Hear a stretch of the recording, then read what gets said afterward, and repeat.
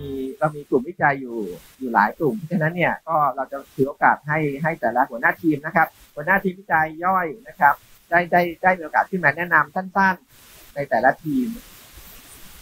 ครับก็เรียนเชิญดรเป็นวิทยครับ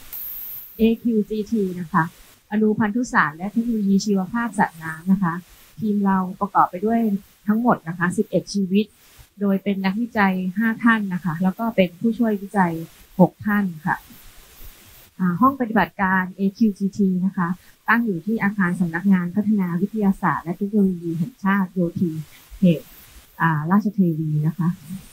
ในวันนี้นะคะ เราอยากให้ทุกท่านเห็นภาพรวม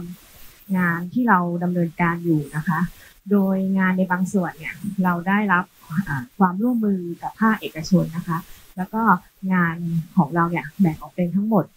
6 ส่วนนะคะ ส่วนแรกเป็นการค้นหา DNA เครื่องหมาย เพื่อใช้ในการคัดพันธุ์ กุ้งและปลาเป้าหมายของส่วนนี้นะคะ เราต้องการที่จะได้สายพันธุ์ของกุ้งขาว กุ้งแชบวย ที่โตเร็ว แล้วก็ต้านทานโรคนะคะ แล้วก็มีงานในส่วนของปลา ซึ่งเราก็ต้องการสายพันธุ์ปลากระพงที่โตเร็วและต้านทานโรคงานในส่วนที่สองคือการส่งเสริมการพัฒนา การเลี้ยงพืชเอ้ยเลี้ยงกุ้งเพศเดี่ยวนะคะ โดยอันนี้เรามุ่งเน้นไปที่กุ้งกล้ามกรามนะคะทีมของเราก็จะมีการค้นหา DNA เครื่องหมาย เพื่อบ่งชี้เพศของกุ้ง แล้วก็พัฒนาวิธีการเปลี่ยนเพศเพื่อให้ได้ลูกกุ้งที่เป็นกุ้งเพศผู้ล้วนนะคะ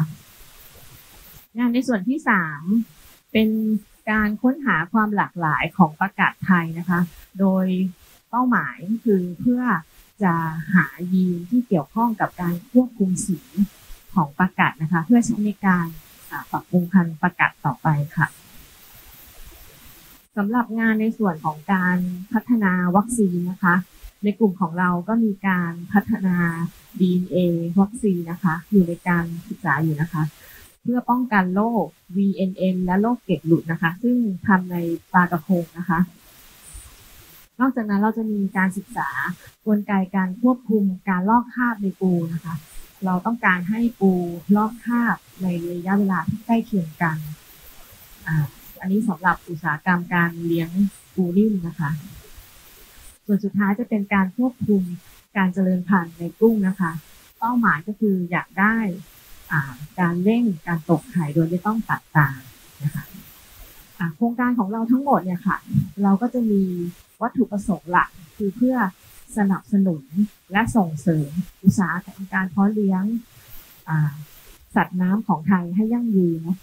ดังนั้นถ้าท่านใดนะคะอ่าต้องการให้เราสนับสนุนหรือพัฒนาในด้านใดนะคะ เราอยากให้มาคุยกับเรานะคะ AQGT ค่ะ ขอบคุณค่ะ ก็ขอบคุณดรเป็นวิทัยอันนี้ก็เริ่มหนึ่งหนึ่งในหัวข้อ